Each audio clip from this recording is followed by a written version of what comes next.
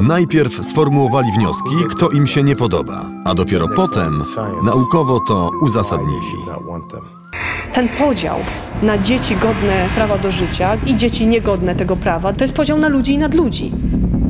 I to też jest eugenika. Eugenika zajmowała się takim różnicowaniem ludzi, takim selekcjonowaniem ludzi.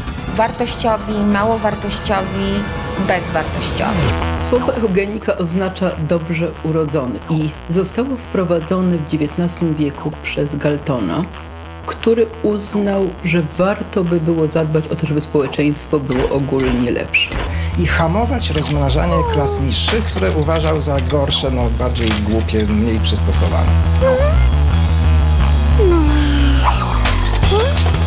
Starał się stworzyć model matematycznej przewidywalności, by móc określić, czy inteligentni małżonkowie będą mieli inteligentne dzieci. Sądził, że może przewidzieć wzór. Najpierw zaproponowali publiczne komory gazowe.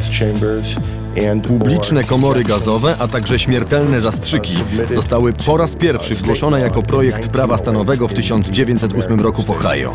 Najsłynniejsza sprawa, najsłynniejsza na świecie, która się odbyła, to była taka sprawa z 1927 roku. Chodziło o pensjonariuszkę domu opieki w Virginii, nazywała się Carrie Buck. Ona przebywała w tym domu opieki razem ze swoją matką, Emmą i ze swoją córką. No i sędzia Sądu Najwyższego wydał orzeczenie, które brzmiało mniej więcej tak, że są przecież ludzie w naszej wspólnocie, którzy poświęcają ofiarnie życie na obronę kraju i tak dalej, a są tacy, którzy ciążą i na pewno dla tych, którzy nie są sprawni, nie będzie wielką przeszkodą, jeśli nie będą mogli posiadać dzieci i że trzy generacje debili to dość, żeby orzec sterylizację. Więc to wystarczyło, by uruchomić lawinę. I w rezultacie jakieś 65 tysięcy Amerykanów zostało wysterylizowanych, bo byli biedni, bo byli czarni, bo byli biali, ale rudzi, bo byli Żydami albo mieszańcami.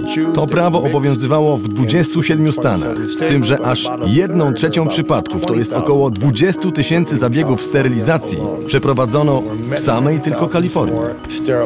I jeszcze tysiące innych wysterylizowano na polecenie rządu federalnego, tu brak danych, na terenie rezerwatów indiańskich. Indian reservations.